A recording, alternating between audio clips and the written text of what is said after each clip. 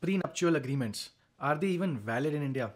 Well, in the technical sense that you cannot get maintenance or alimony from your spouse in a future dispute sense, not really, because the Contract Act says that any agreement in contravention of any law, that is the maintenance laws of India, is void. But quasi prenups, as I like to call them, are very well enforceable in the sense that there can be at least a declaration by both sides as to expenses of the wedding, the expectations on financial commitments from either sides, who is giving what to whom, when. And